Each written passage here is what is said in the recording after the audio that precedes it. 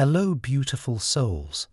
This person can't stop thinking about you because they have closed their chapter with you by lying to themselves.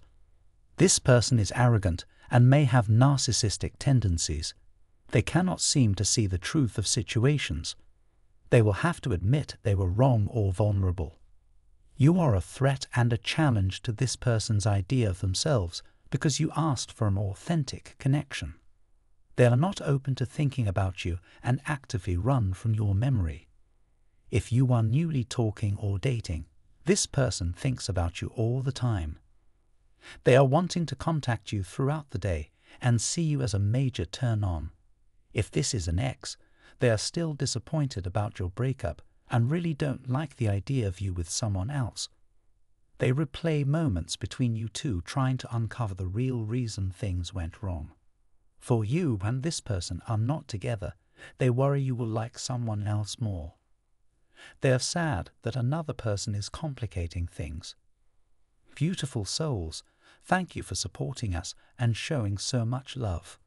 I'm back with a new reading for all of you today, so without wasting much time, let's get started with today's reading. Your individual, as of now, is at the present time or will move forward to make things in the middle between both of you, or possibly they will attempt to accomplish something by seeing how you will answer them. Presently, here it sits around in the sea with how you feel right now about the circumstance or about your individual, or how you will feel when they will attempt to come around.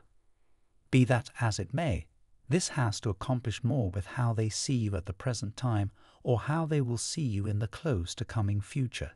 Will be sitting considering a ton of things subsequent to getting double crossed, deceived, and left out by those they pay over you.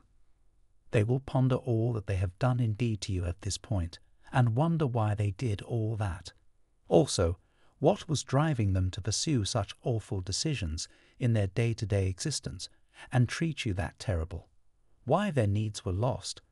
What really turned out badly, and for what reason did it turn out badly? What was their role?